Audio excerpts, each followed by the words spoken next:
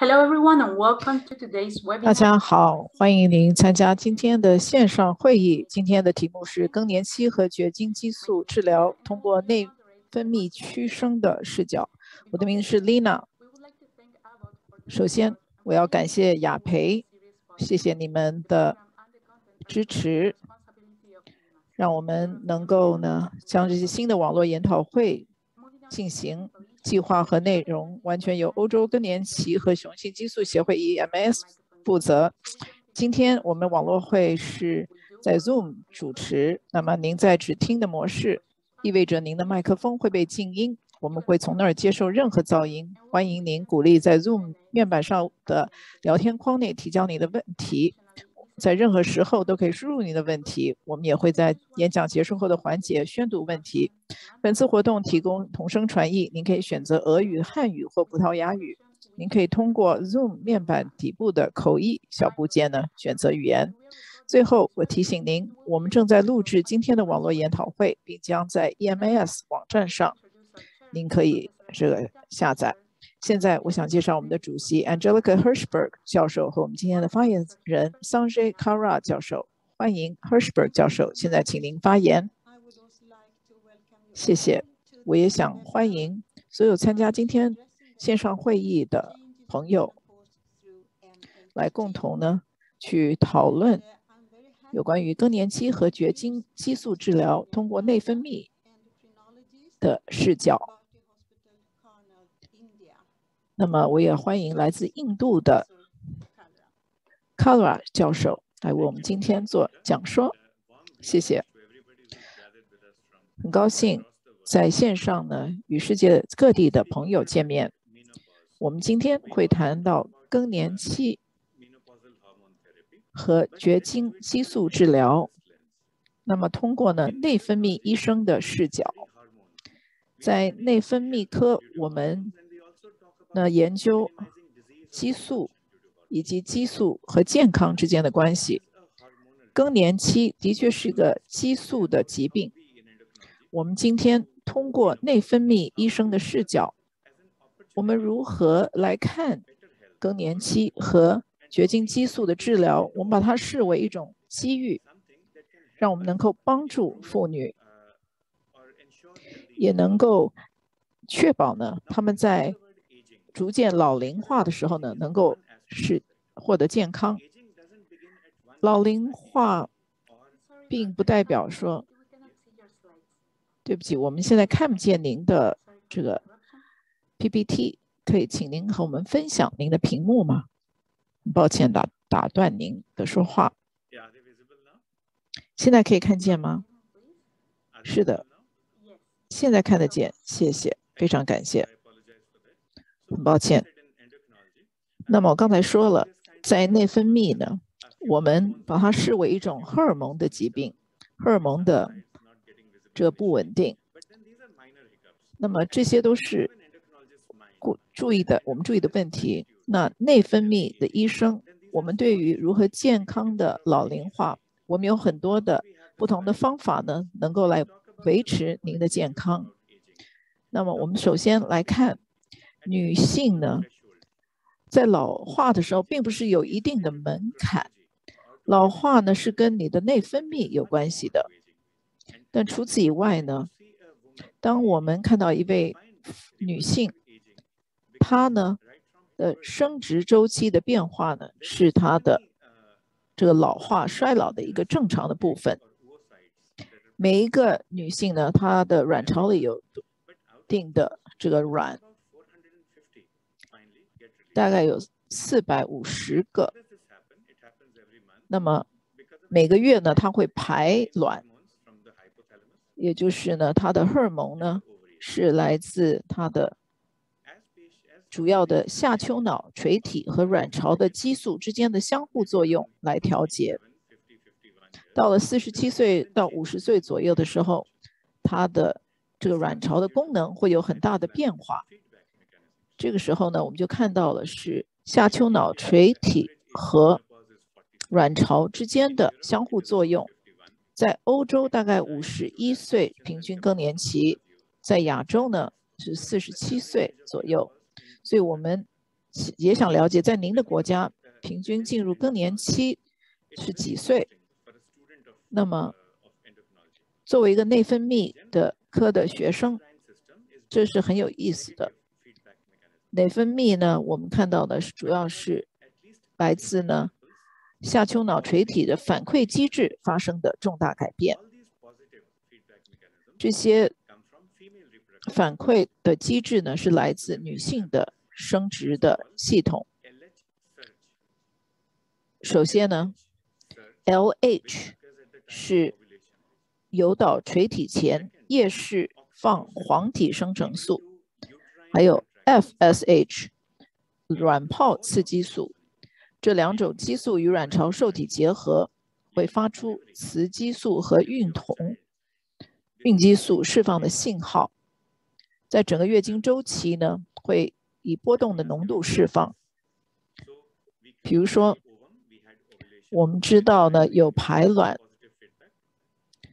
那么因为这样子的一个调节，相互作用调节排卵。那下一步骤是什么呢？所以这也代表了，对于女性，在女性的内分泌，什么是第三个是个正面的反应？我们看到呢，卵巢储备呢，它会自然的衰退，大概就是在青春期之后呢，一直到了更年期，那这种。卵巢储备的自然衰退，也是表示生殖能力的衰退。这是因为有雌激素分泌减少所导致的。那么，雌激素分泌减少呢，会提高 FSH。这些呢，都是我们生理的一个现象。但是因为这些生理的变化，会有一些症状。也会有一些信号，我们可以看到。那这些症状在女性呢，会有产生什么样的障碍或是桥梁？首先，我们来看，通过 M，M 代表呢你的心情以及你的认知，M 也是你的这个。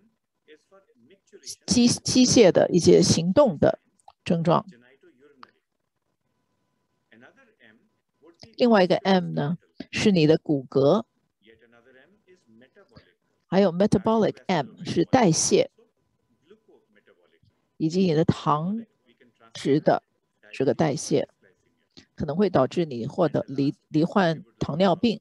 最后一个 M 是 malignancy，就是一些肿瘤。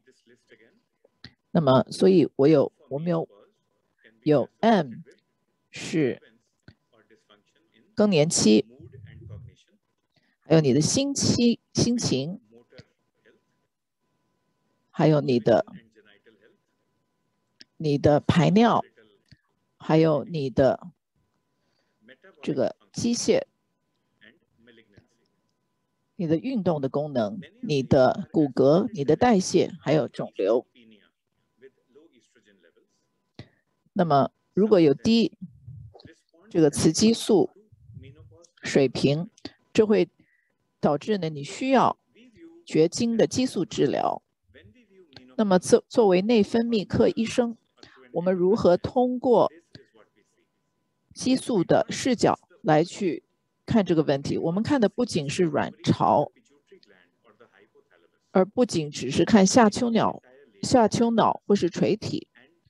我们会整体来去看这个问题。那么，作为内分泌科医生或是妇科医生，我们有责任来去治疗这美丽的女性女士。我们的目标，那在印度第一位非欧洲的医生呢，在一百多年前。他做了有关于绝经激素治疗的障碍和桥梁的研究。他说，女性呢，就像一只美丽的花朵，在更年期的时候它枯萎。我们不要让它枯萎，我们要帮她一起去克服这些 M 所带来的一些挑战。我们要确保我们能够维持这位经历更年期女性的美丽。当然，在我们在研究花朵的时候，我们会也会研究它的花瓣、它的枝梗以及它的这个授粉。那么，所以就是说，在研究更年期的时候呢，我们必须要采取一种整体的看法，整体的护理。我知道我们今天的主席，他是一个著名的这个专家，在更年期的管理，所以我们也希望能够听听他的看法。但我们看到一位更年期的女性，我们如何提供她整体的护理？首先呢，我们要看整个病因学，要看到生理以及心理的这个健康问题，同时还有这个慢性疾病的护理。如果比如说一位病患他有这个热潮，那么或者呢，他有这个骨骼的萎缩的问题，这些都是我们必须要治疗的。内分泌科医生或者家庭医生，我们没有办法独自的、单一的去治疗这位妇女。女性女士，我们必须要结合我们共同的知识来去为她提供治疗。我们知道，像西方妇女，她们与亚洲妇女来比较的话，她们的更年期的症状是不一样的。在某些文化里，如果你今天进入这个更年期的话呢，你反而呢？被社会尊重，你年长了，所以这些都是一些生理以及心理的一些因素。我们必须要提供这种完完整的护理。同时，我们除了看他的这个，我们还看他的骨骼、看他的关节、看他的肌肉的一些变化。所以在治疗端点的这个骨骼健康，我们也会去看呢，它是否会有骨折，它是否呢会比较脆弱，这些都是在治疗更年期绝经时期的这个健康必须要考虑的。所以这个答案是绝对是这个确定的。我们如何能够提供这种完整的护理，对于更年期女性来说至关重要。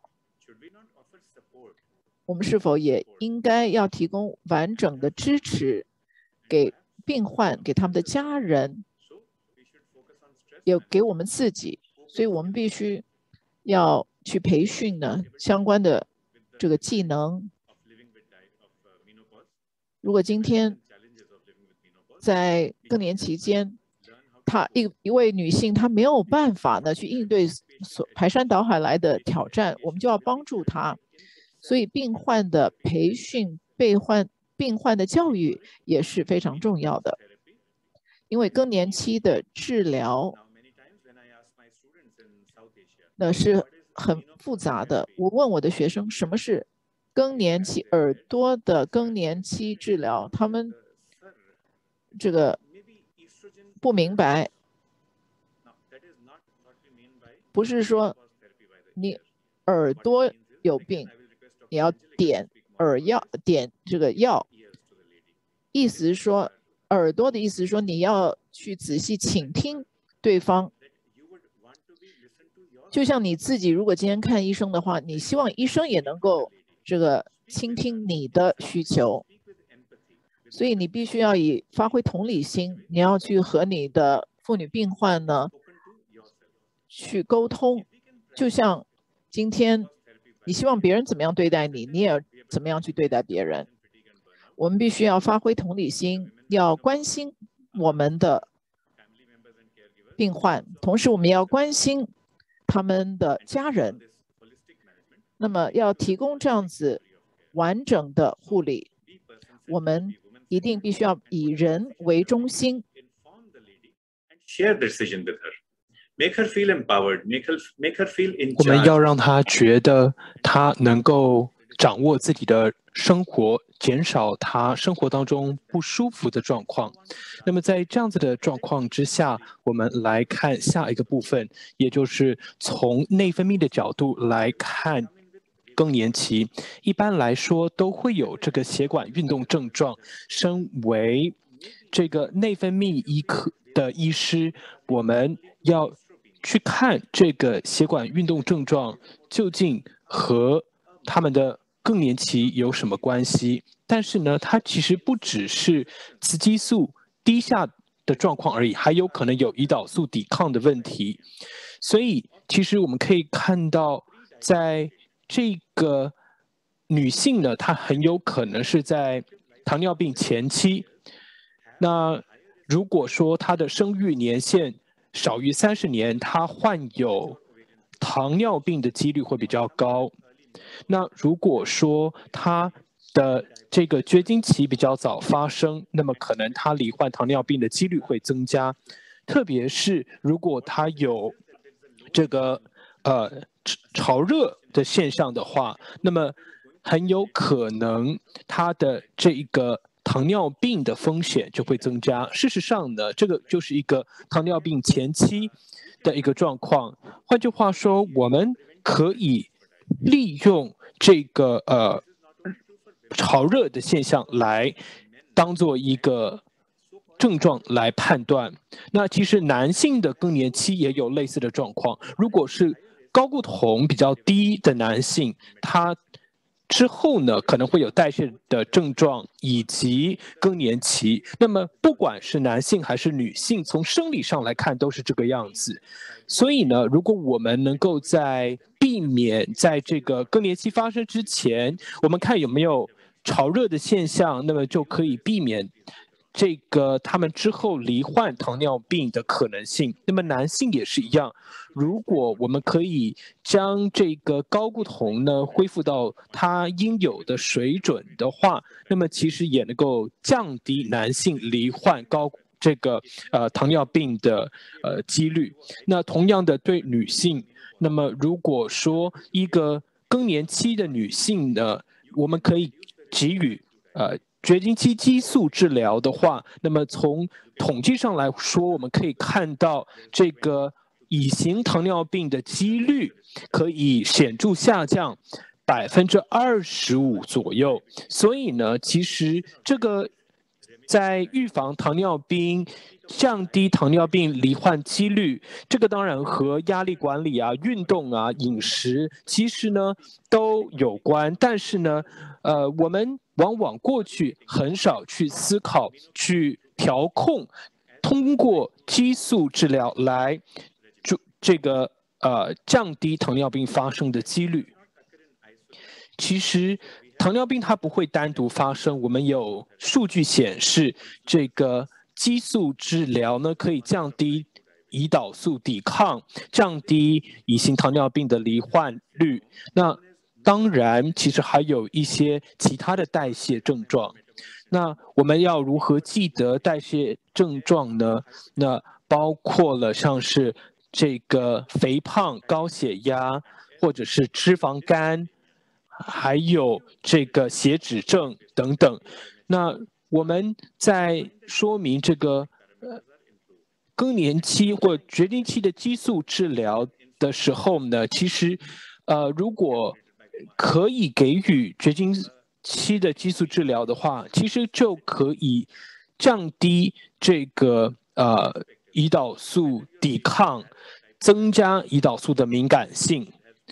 那不管这个您的病患是否有糖尿病前期或者是其他代谢的症状，其实呢，现代的激素治疗还是很有效的。那它当然无法预防糖尿病，但是呢，我们要看其他的一些症状，例如说血管运动症状等等。但是整体而言，它是能够改善这个呃女性罹患呃这个乙型糖尿病的几率。那如果说我们可以罹患给就给给这个罹患糖尿病绝经妇女的症状治疗的话，那么其实呢，我们可以使用这个呃。绝经期的激素治疗，那么当然我们会希望呢，在对于有这个糖尿病和低心血管疾病风险为绝经期或刚绝经的妇女，我们可以使用口服的雌激素。那总而言之呢，我们必须要去思考哪一种这个激素治疗是最好的。那么不管如何，都应该使用对糖代谢影响最少的孕激素，如例如黄体酮、去氢黄体酮，或者是经皮的缺诺酮。那接下来谈谈这个代谢症状，就是女性呢，一旦进入更年期之后，她的这个代谢症状的几率就会增加。那包括了像是呃这个高血脂啦，或者是。这个高血压啦等等，那么当然其中一个重点呢，就是胰岛素的抵抗。那另外呢，我们看到还有一个呃，可以可能会增加代谢，应该说一个代谢症症状的一个标记呢，就是呃这个呃刚才提到的潮热。另外呢。还有一个现象就是卵巢早衰。那其实，在西方、在非洲、在印度，这个代谢症状其实呢都还蛮严重的。这个是我在奈及利亚的这个拉各斯所做的一个综合的研究。我们发现，这个代谢症状呢，其实它的患病率高达百分之六十九。那有非常多的女性都有这个代谢症状，为什么在更年期之后这个代谢症状会增加呢？就是因为代谢综综合症会增加呢，就是因为这个雌激素低下。那当然，我们看到的是它的性状。那么在英文里头呢，这个所谓的性状就是所有外部的表征。那基本上呢，就是说他的这个一个人他的脂肪的分布，他的一个状况是什么？例如说他的腰围，他的腹部的这个脂肪有多少？他的内脏脂肪有多少？他的皮下脂肪有多少？那么其实呢，有一些人他们的这个脂肪状况呢，其实取决于他的这个。呃，雌激素，换句话说呢，其实有一些人他可能基因的关系，所以他的这个内脏脂肪比较少。但是呢，如果呃有一些人他的基因的关系，所以他很有可能他的内脏脂肪比较多，那么这就会进一步的造成心血管疾病。我们。刚才有提到脂肪的一个状态，那如果说可以给病患雌激素的话，那么我们就可以增加高密度胆固醇。其实呢，在代谢的做法里头呢，要能够增加高密度胆固醇，也就是健康好的胆固醇，不是那么容易。那其中一个做法呢，就是。给予这个绝经期的激素治疗，这个并不是说直接给予这个雌激素，但是呢，我们可能第一线呢，就是呃要通过这个改善代谢来做。但是其实我如果我们把替勃龙和这个雌激素，呃来做一个比较，我们会发现雌激素它的优点，因为替勃龙呢，它会降低高密度。胆固醇，换句话说就是会降低、减少这个好的胆固醇。那么有一些女性呢，她其实呢，如果患有高甘油三酯血症的话，那么她们其实可以通过透皮雌激素来治疗。那另外呢，有一些有代谢综合症的女性呢，她们其实也可以呃来使用这个，例如说呃微粉化的这个。呃微粉化的这个呃孕激素，或者呢是这个去精去氢的这个激素来治疗。那所以呢，针对这个有代谢症的女性，其实呢，我们是可以给予她们绝绝经期的激素治疗。我们要给予他们这方面的一个咨询。那么刚才已经提到了代谢综合症，还有糖尿病。接下来来谈谈对于心血管的保护。为什么我们要去管理这个呃糖尿病，去降低代谢综合症呢？这都和保护心血管有关。那么其实雌激素治疗对于保护心血管。非常的有用，它可以保护内皮细胞、抗血小板、抗氧，也同时呢对于脂质友好。那么一般来说，我们其实不用担心它会增加脑血管意外的风险。事实上呢，有所谓的时间的假设，那其实它究竟是否会？呃，增加这个冠心病的几率呢？其实我们做了一个呃前瞻性的队列进研究。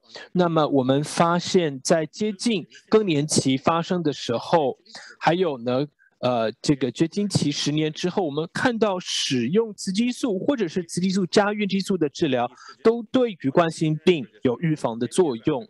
那如果是例如说更年期十年之后，我们再给予这个雌激素和孕激素，那么就呃可能呃减少了它的这个保护的效果。那但是即使如此，呃从风险的角度来看，使用激素治疗还是有它的好处。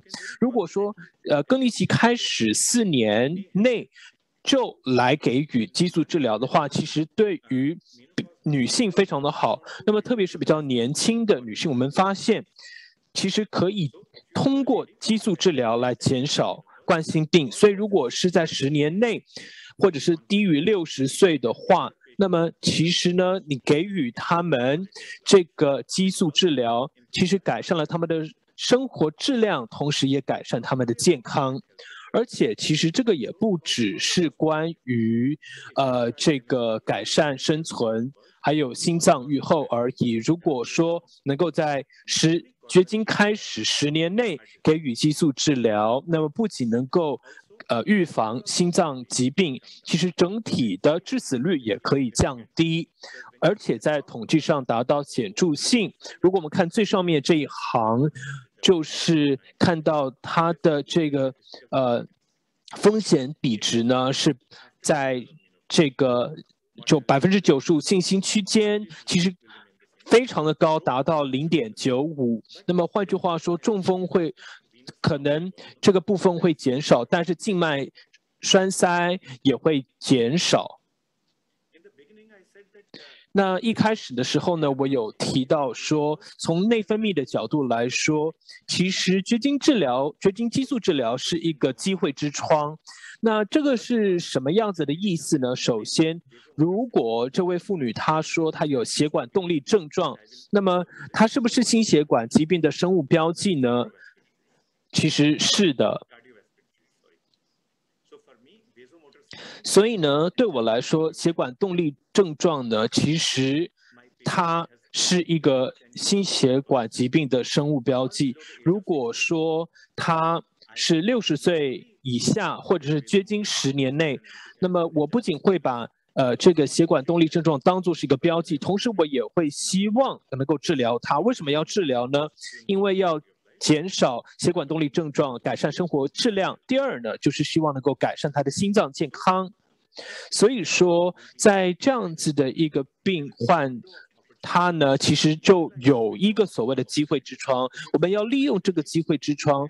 减减缓缓解他的症状，然后呢，给予这个代谢方面的优势。那么，我想可能如果您不是糖尿病方面的医师的话，大家可能知道，其实这些呃这个心血管疾病呢，其实非常的重要，它的预防非常的重要。我们要控制它的血糖，那么当然也可以改善心脏血管方面的健康，提高它的好呃它的整体的状况。那么所以呢，一方面可以缓解症状，另一方面可以减少这个呃这个血糖，同时也能够改善代谢。那通过这个绝经期激素治疗，其实有非常大的帮助。那所以说，这个都是非常重要的一个做法。所以，我们如何来看我们的病患呢？通过呢绝经激素的治疗，我们可以帮助我们的病患。卵巢功能下降和雌激素分泌减少呢，与骨矿物质密度损失有关。我们今天如果把女性呢看成一个美丽的花朵，那我们当然要照顾到她的骨干。而我们在青春期的时候呢，我们的骨质骨矿物质的密度呢会增加。但是呢，进入更年期的时候，我们的钴矿物的值的密度呢会损失，所以我们会看到呢，他们会有骨质疏松失失疏松症的这个问题。所以我们如何能够防防止骨质流失？这是妇女呢在更年期和绝经后阶段的一个重要的关切。我们也不断呢要减少它的合并症。同时，也要减少他的死亡，降低他的死亡率。我们呃，我们看到呢，在更年期间的时候，女性的骨骼呢，它是脆弱的。那么，这对于早期呢进入更年期的女性呢，她们是骨质会受到严重的影响，同时他们的血管运动呢也会有。严重的影响，所以我们要如何解决这些问题，确保呢？我们来预防骨质疏松症，以及评估这个骨折的风险。那我您可以做 DEXA 或是 FRAX 来去测量他们的骨质密度。最早的这个工具呢是来自英国，那么现在我们有 FRAX，大家可以呢。通过 FRAX 来为他们测检测呢，他们的骨质的密度。那一旦呢有骨质疏松症的时候，我们要如何去治疗？大家不要忘记，在绝经激素疗法呢，治疗它是可以增加你的骨量的密度。所以，如果安全的来提供这个激素治疗，你们可以改善这个病患的骨质的密度。那么，绝经激素的治疗呢，在绝经后的骨质疏松症能够发挥作用。但是，如果你的病患呢没有办法接受这个骨质疏松症的治疗，那么我们可以看到，病患呢，他很可能呢，他是属于骨折的高风险群。那么他可能就要接受不同的这个治疗，包括绝经的激素治疗。那么在印度呢，我们的在这方面的研究跟 EMAS 也是很相似的。当然呢，如果今天你要去避免呢骨质疏松，那你有很多不同的做法。比如说，你可以改变你的生活方式，你可以运动练习，做阻力平衡和负重的练习，你可以改善你的改变你的膳食等等。那现在我们再进一步来去探讨这个机遇的这个概念。如果有症状的妇女来看病，她当然。心情不好，她非常焦虑。那么，请对这个症状的妇女使用激素的这个治疗呢，是对他们来说是一个机会之窗。那么我们同时也会去评估这个女性的病患呢，她的骨矿物的密度，她的这个骨折的发生率是否是高风险？我们会帮助他，然后呢接受治疗，他的骨折的发生率会降低。那主要是他是六十岁以下，是早期更年期的病患。那么我们知道，讲到更年期，更年期可以从内分泌这个角度来去看。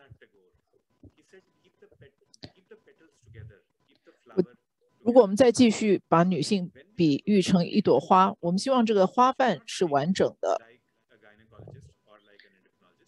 我们不仅是要以医生的这种态度来去应对疾病，我们要把它当成一个活生生的人。因为我说了，内分泌的科的治疗呢是来自耳朵，你必须要仔细的聆听，你必须要花时间去。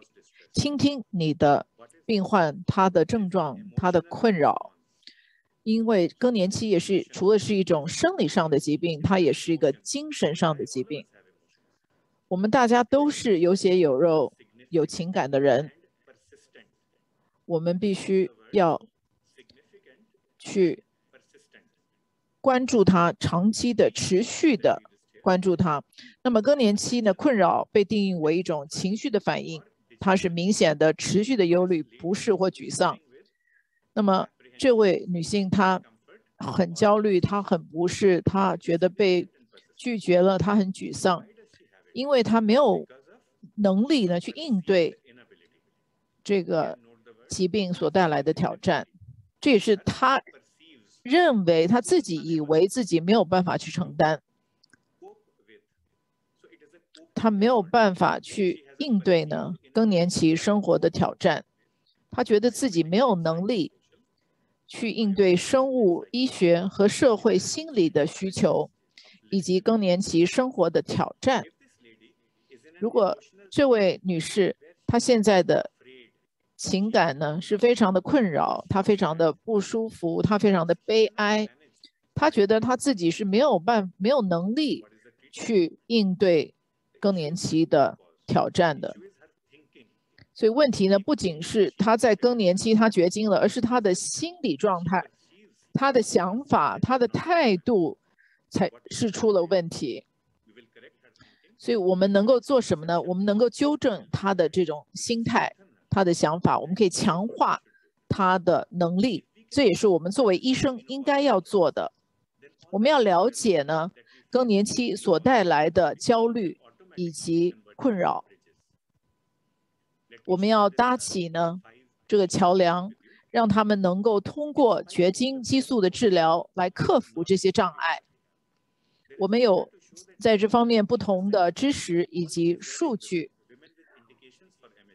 我们觉得，如果今天这个女性她是适合接受绝经激素治疗的话，我们应该要提供给她。但是往往他们没有这方面的信息。所以，我们也希望能够纠正这个问题。我们希望搭起桥梁。公共大众往往的认为，更年期后的健康不是那么的重要。我觉得我们应该要为这些妇女呢发出声音，我们要支持他们，让大家能够了解呢，更年期的治疗和其他的疾病治疗是平起平坐的，不应该被歧视。政策的制定者也必须要了解更年期女性在社会所发挥的作用，应应该要去推广以及支持在工作在企业呢，在工作场所的更年期生活管理。如果政策制定者能够聆听病患的需求，往往病患他很恐惧。他不愿意说出来自己心里的困扰，但是我们作为医生，我们可以去聆听。那么这是其实是很悲哀的，因为我们我们现在呢，在全世界，在印度呢，无论从药理学啊，或是从不同的地方，我们是可以提供给这个更年期女性呢，她们相关的护理。我们应该要更清楚的提供他们的所需要的护理。所以今天，如果我们要提供呢，这个不同的绝经激素治疗法，我们可以提供呢雌激素，我们可以呃提供孕激素，不见得我们需要呢切除她的子宫，有各种不同的口服的药。比如说，雌激素呢和这个孕激素综合起来呢，也可以呢以这个步骤性的来提供这样的治疗。最后呢，我要跟大家分享这张幻灯片。今天我们如果要管理更年期，大家要记得呢，我们不要过度的。这个给予给妇女呢药物，我们可以建议呢无症状的这个绝经前的妇女或绝经后呢，每三到六个月的时候呢，可以进行骨质矿物质密度的估计，还还有四级的预防。我们要呢抓住这个机会之窗，我们要提供完整的、全面的护理。如此来呢。我们相信，我们可以为我们的病患呢提供健康，同时呢，我们也可以帮助他们。请大家要想，妇女呢，她就像一朵美丽的花朵，我们要继续让这朵花盛放，让它美丽茁壮。如此一来，我们能够提供最好的护理给所有的绝经前或绝经后的女女性。好的，谢谢。非常感谢 Kara 医生。我们现在进入问答的环节，所以请大家呢也可以通过我们的这个问答的板块来提出您的问题。谢谢，非常感谢您很精彩的这个介绍，以及目前呢在更年期的症状治疗。等等的问题。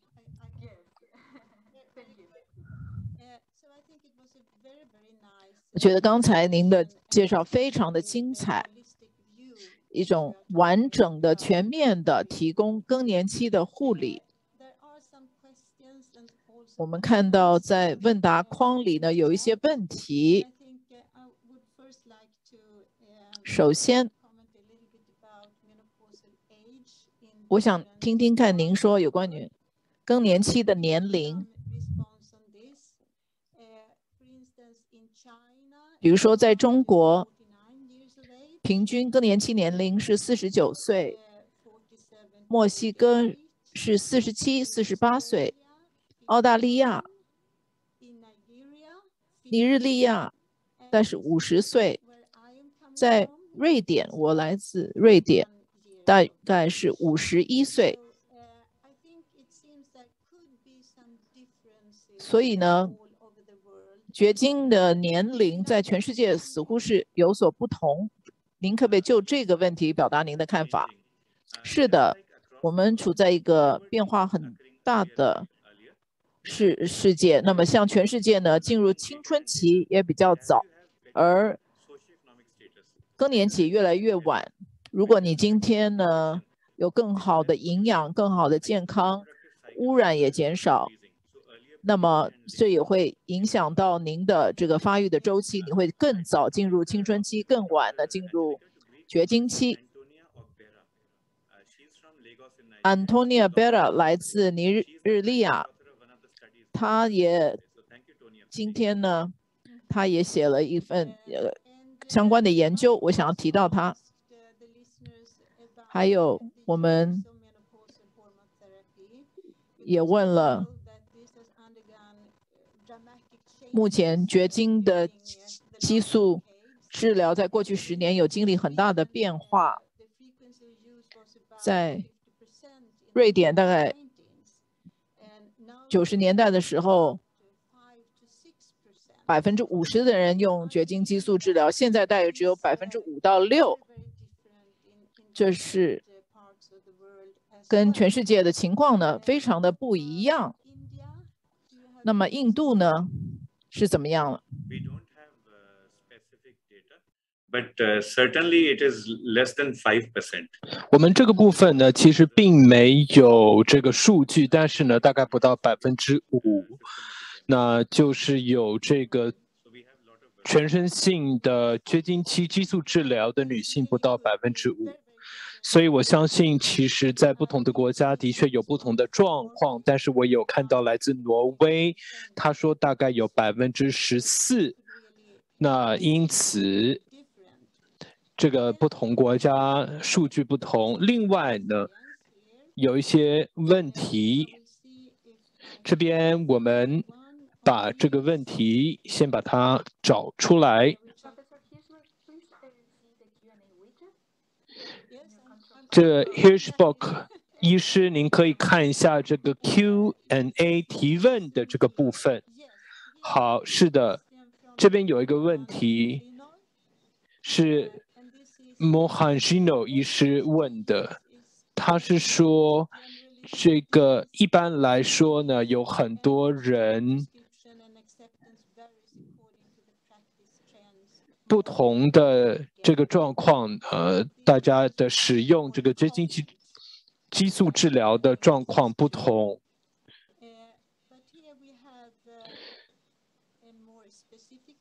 这边有一个比较具体的问题，就是我们是否会使用这个雌二醇来治疗一位身体质量指数五十、糖尿病控制不佳、高血脂，而且呢有高血压在治疗，它的 Q 风险分数是三十，那么还是会的，因为它还是会对于病患有帮助。虽然说这些参数看起来都非常的不好，但是呢，我相信这个呃病患他的生活质量很差。那如果给可以给他这个雌激素或者是雌二醇的话，我们会发现他的这个生活质量会上升，他会开始想要运动，这个我可以保证。所以换句话说，他会更愿意去。照顾自己，他对于自己身体的这个看法会改善，而且最终的结果也会更好。那通常呢，用这个激素治疗，您可以进行这个咨询。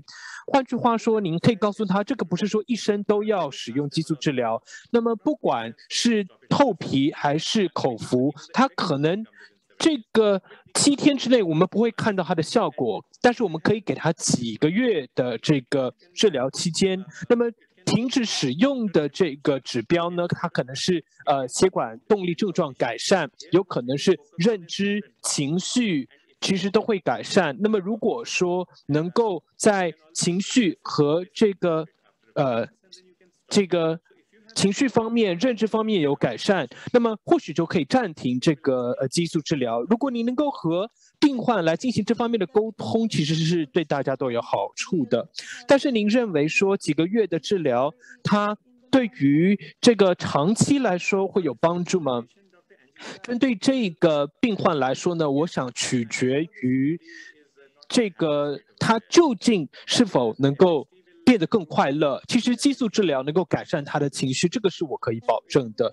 那所以这其实就有一点像说，你在治疗这个糖尿病，在进行体重的管理的时候，关键其实是他的这个动力。那情绪还有认知其实是非常重要的改善动力的一个关关键。所以呢，当然我们要先去看这些禁忌症，但是呢，如果说有像是妇科啦，或者是呃产科，甚至是这个呃肿瘤方面的禁忌症，当然就不能够用。那我们当然知道，在这个更年期的时候，呃，我们要给一个女性她的这个身体质量指数这么高，高达五十的话，怎么办呢？要怎么给她这个运动方面的建议呢？其实我想一开始就可以把她呃，请她多动。那其实有三种不同的运动，第一个呢，就是要这个平衡，还有这个呃弹力。那所以先从平衡还有这个活动。力弹性开始，那再来才进行这个有氧运动。有氧也有两种，一个是高冲击，一个是低冲击。那么这个女性呢，她当然不能够从事高冲击的运动。高冲击的运动就是说，呃，有任何一个时刻双脚都离地，她可以做的是低冲击的运动。换句话说，任何一个时刻。都有一只脚是在地上，他不见得是要很久，他可以坐在椅子上面就来做这个低冲击的运动。例如，例例如呢，就是原地的这个原地的抬脚，原地的呃这个原地踏步。那如果说这种低冲击的运动可以先开始，让他先开始动起来，其实是有好处的。那么。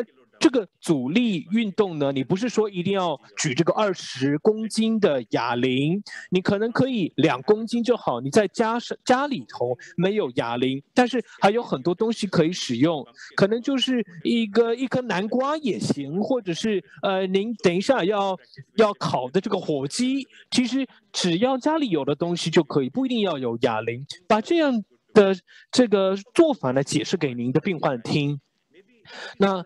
或许呢，这个呃病患呢，他可能以前呢喜欢跳民族舞蹈，那么就请他来跳民族舞蹈，让他开始动起来。好，谢谢。那么这边还有更多的问题，那我们来看一下，我们可以提出哪一些问题。非常高兴能够看到来自世界各地的人，呃，来提问。有来自我知道有来自非洲的，有来自东南亚的。好，还有一个问题。那么这个病患呢，如果说他有骨质疏松症的话，那么可不可以进行这个激素治疗呢？那如果是六十岁以后，还可以使用这个双磷酸盐吗？呃，可能会有这个副作用。那么这个骨质疏松症呢，其实针对这个部分来说，呃，我们第一个选择呢，就是可以使用这个双磷酸盐，或者是呃一个类固醇的药物。那么其实我们也有一些呃药物可以使用。另外一个是 teriparatide 这个药物，那这些都是这个。呃，类固醇的药物，两个没有这些同化药物都是可用的，但是呢，我想最好的呢就是口服的，每天都可以口服的，或者是每周一次的口服的，或者是。一年使用，那么在印度都可以使用。那我们可以做序列的治疗。换句话说，这个连续两连续头两年使用同化药物，那么之后呢，我可能用其他的药物来避免这个副作用。那么不管是什么做法，那么我的病患他假设有血管动力症状的话，我们都可以加上激素治疗，但是它不会是主线的治疗来治疗骨质疏松症。但是如果说有一些是早期的这个更年期，我们就不会推荐这个双磷盐酸盐，对吧？除非他有这个骨质疏松症的话，呃，他的这个呃分数是低于二点五，那我们才会使用。那他可我们可以使用呃双磷酸盐。呃，或者是同化药物，但是我们可以先用用这个同化药物，先用两年，再用双磷酸盐，这个是这个有顺序的。但是这个重点呢是在于它必须要有这个骨质疏松症，或者是我们的确看到有骨裂的状况。那举例来说，呃，有一些女性，她如果是生育年龄，那我们会去建议使用这个呃雌激素治疗。我同意，我知道您这个部分的问题是什么。那我想这个是跟我们的用词有关。那么如果说它的是这个卵巢早衰的话，那么的确应该使用绝经期的激素治疗。如果说这个病患他有早卵巢早衰的话，那么会持续的给予他这个绝经期激素治疗，直到发生更年期为止。那么可能在不同的国家年纪不一样。那么这边也是一个类似的问题。那么呃，非常感谢您的这个报告。那么，是不是说绝经期激素治疗对于改善有骨质疏松症，然后骨质密度比较低的女性呢，它是唯一有效的治疗方法呢？很不好意思，如果大家误会是这个样子，那就不对了。因为呢，其实刚才提到同化药物，我们刚才 tonopteribide，然后呢，还有刚才提到的双磷酸盐。那么除此之外，你还可以再加上这个绝经激素治疗。那么如果有需要的话，如果说他没有办法耐受这个。呃，部分的这个双磷酸盐的话，那么可能就停止。那么特别是如果病患他有这个血管动力症状，是吗？对，如果他有血血血管动力症状，我知道有很多这个同事呢，他们刚刚都登入来参与。如果您的病患呢有这个血管动力症状的话，请不要忽略他们，把这个视为是一个。这个糖尿病前期的一个状况，它其实呢就是有血管的问题了。你可以把它当做是一个这个很有可能会跌倒，或者是骨裂，或者是呃这这的一个标记。所以呢，好好的抓住这个机会之窗。因为如果我们要针对血管动力症状来施予这个雌激素的话，你们就可以问他，可以的话可以咨询他，其实告诉他说还可以避免其他的一些呃状况。那。这个不要以为说绝经期激素治疗呢，就不用让病患去找这个心脏科医师，或者是不用这个呃这个测血糖，还是要。但是呢，在给予激素治疗的时候，你不用害怕。如果你是这个呃妇科医生，你不用担心说好像给予这个激素治疗会伤害他一样，是不用的。那么对于一个一般的病患来说，假设呢他有这个激经期的症状，那您针对这个部分激素治疗会有多久呢？这个问题很难回答，因为是病患而有所不同。一般来说，我们会先针对症状来治疗，所以或许六个月、一年。那如果到时候呢，病患这个症状缓解了，他的骨头肌肉更强壮了，那就算他有这个骨质疏松症，那或许呢，他现在呢，呃，变成这个指数是二点六，那么你你可能就会觉得说，他这个呃骨骼骨头呢变得比较脆弱。如果说病患比较状况比较好，例如说你假设。在这个德国呢，你时速开这个每小时一百二十，那你这个时候你会去换挡吗？不会嘛，你会持续的用一百二十速度来开。换句话说，你的这个治疗治疗方法还是会持续的进行，但是呢，这个。不可能永久的来使用激素治疗，所以通常是到六十岁停止，或者是呃更年期发生十年之内。那假设有病患他不想停止激素治疗，你有没有碰过呢？有，有很多，特别是在印度北部，很多这个受教育、教育水准水平比较高的女性，或者是说她是在这个呃有公共生活的女性，她在镁光灯底下，那你。他不想停止怎么办呢？我就会请他去找这个妇科医师。或许呢，我身为内分泌科的医师和妇科医师，我们会一起会诊来给予他更好的一个建议。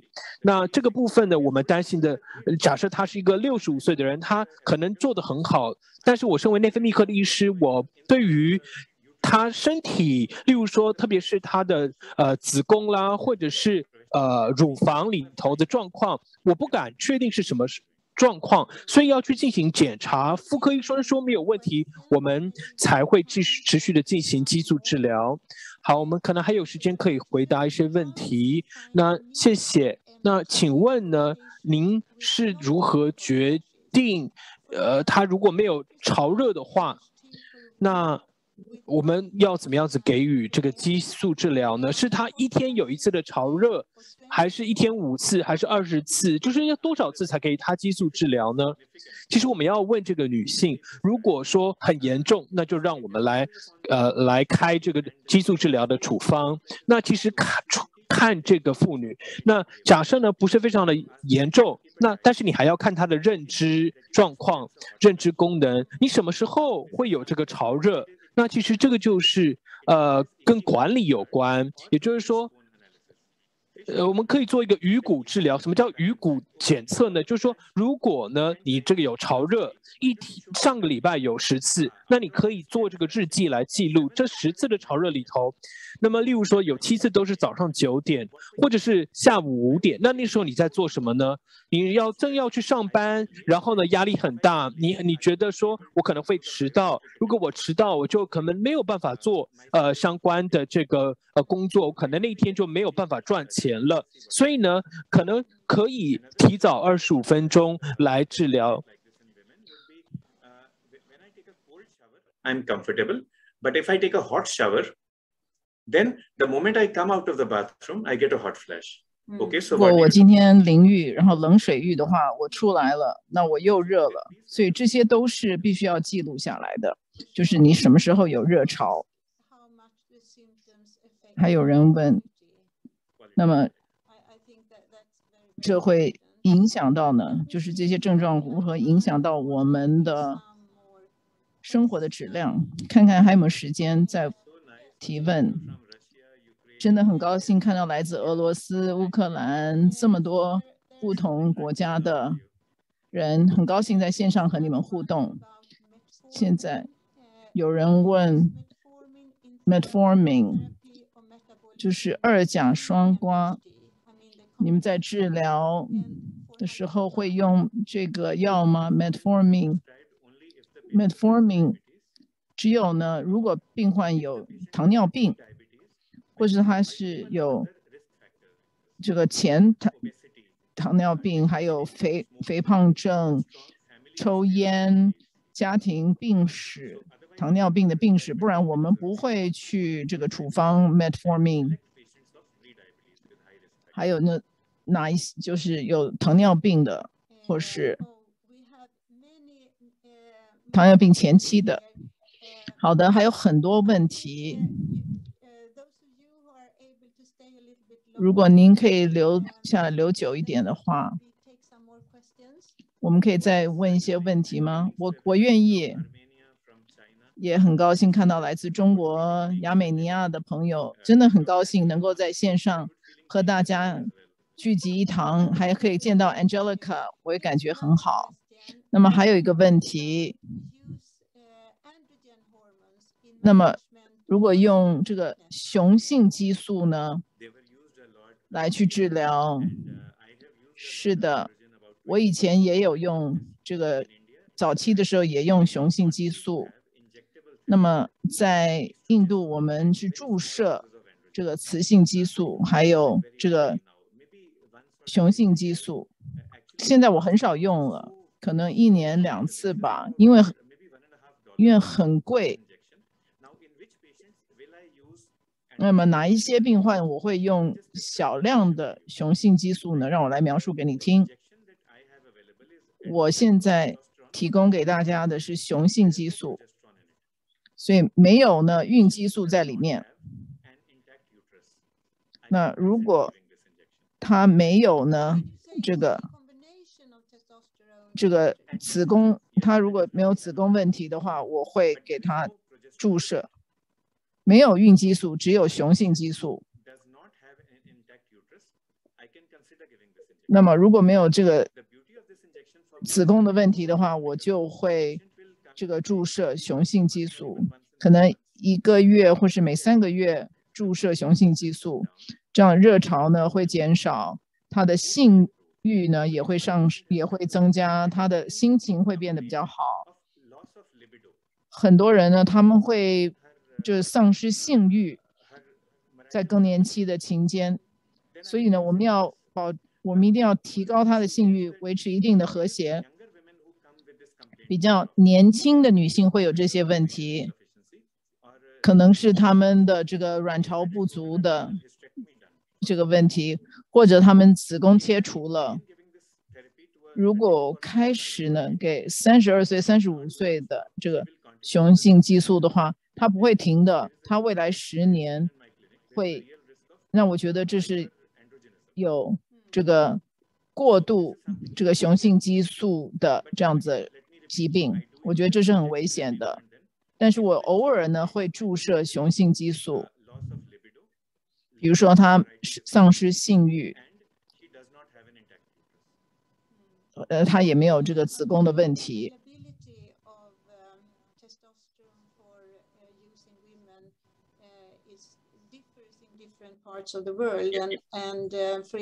那么不同地区的女性状况不一样，例如说在欧洲呢，我们其实并没有这方面的这个雄雄性激素的治疗。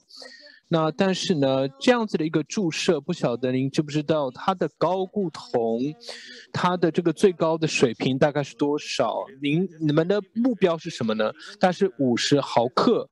那所以就剂量来说，大概就是一般来说，呃，我们在这个呃青少年的这个青春期的这个剂量的一半。但是从一个国际的一个水平来说，如果你要使用的话，怎么用呢？你可以使用可注射的高固酮，例如说给男性的。那但是呢，这个呃剂量很高，你可以用这个一个胶囊，四十毫克。四十毫克的胶囊，在大部分男性呢，我们大概一天要吃三到四颗。那么女性呢，可能一天一颗，或者是每两天一颗。那这个其实胶囊呢是最安全的。那男性呢，一天是五毫克，那么女性呢，可能是呃一半而已，每每两天。那但是呢，这个要和病患来清楚的沟通，而且呢。我个人没有办法去想象其他的一些这个症状，其他的适适应症大概就是性欲降低吧。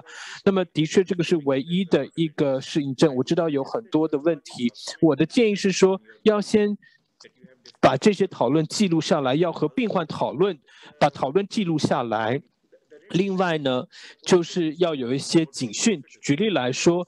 假设呢，这个女性有一些出现了其他的症状，就要立即停止。那那么每一个人不一样，有一些妇女可能，呃，她们可能对于这个和男性和和她的丈夫之间的这个性生活依然很好，那么他们就呃不会拒绝。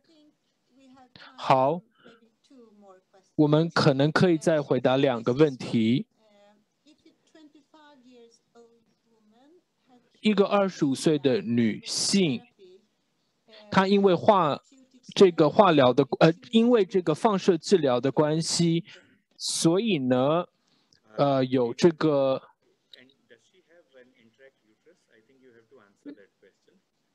我们先要看她有没有这个呃子宫，如果她的子宫是没有问题的话，那么。可能就是呃雌激素加孕激素，那可能会是个周期性的一个治疗，因为她很年轻，所以呢，如果说她没有子宫的话，那么其实雌激素可以是透皮的或者是口服的。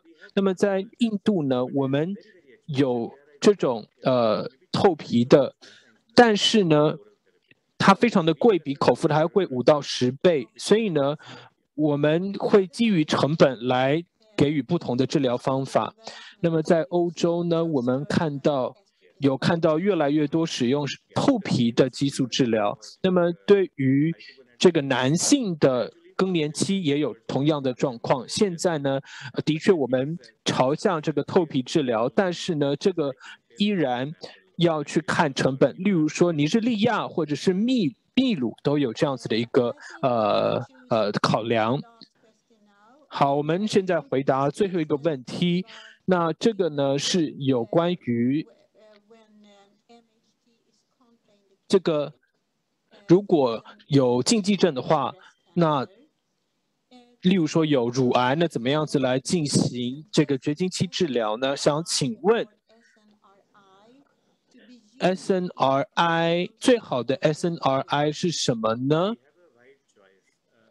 那我们其实，我个人呢是 b e l c r i t i 这个药物。那我告诉大家为什么？那因为呢，我自己的母亲很喜欢。那么她已经二十岁了，八十岁了。那么这个是我最常用的药物。那么您有使用，您可以取得什么药物就使用什么。Deloxetine 可以，Certainly，还有 Paradoxetin，Deloxetin 呢，一般来说它是一个呃胶囊，你没有一一个没有办法去呃把它弄弄一半，但是呢，如果是药定的话，你可以切一半。那要小心这个上瘾的现象，所以从最低剂量开始。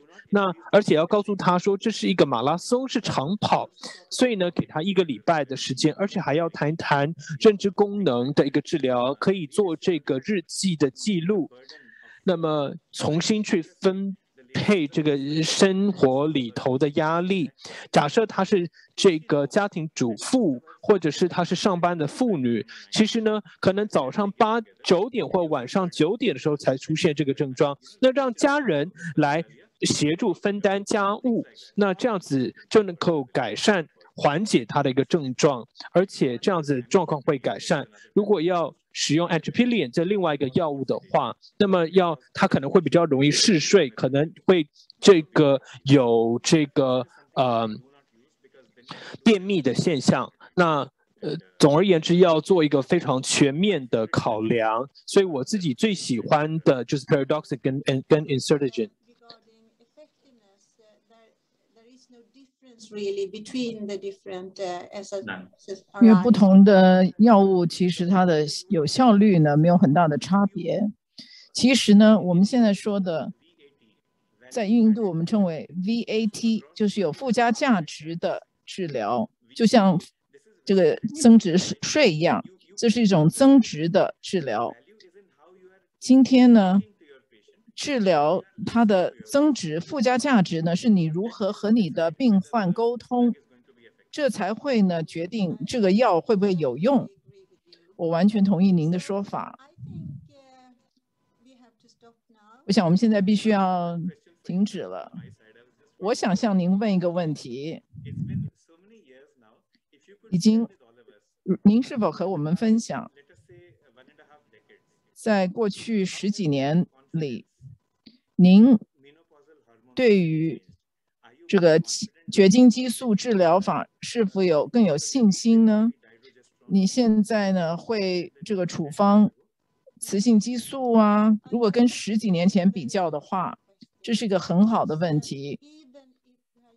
尽管我们已经用了好几十年绝经激素治疗，从五十年代开始。但是依然还有一些问题我们没有答案，因为雌激素是非常有有效率的来去治疗更年期的症状，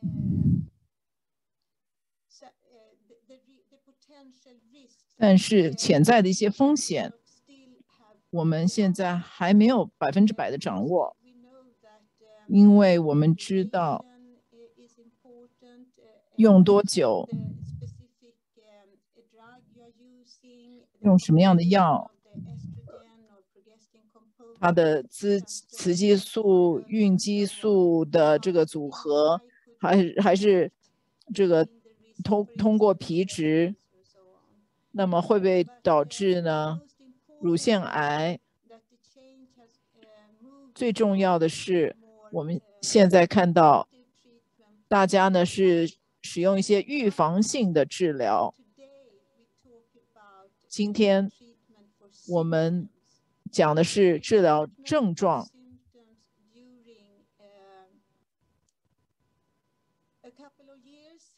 过去几年呢，治疗症状，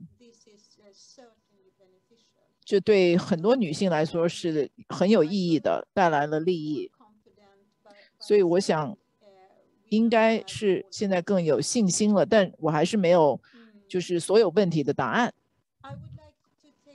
好的，再次感谢 Kyra 教授，谢谢您很精彩的介绍，也感谢呢您回答这么多的问题。我们看到呢，在平台上好多人踊跃的问题问提提出问题。所以我们相信他们都非常感谢呢您今天在线上的演讲。我也要感谢所有的与会者，谢谢你们踊跃的参加今天的线上研讨会。现在我们必须要这个宣布会议的停止了，结束了。好的，谢谢。祝大家呢幸福健康，谢谢。好的，我们现在宣布线上研讨会结束，谢谢大家，谢谢所有的与会者，祝大家有个美好的晚上，谢谢。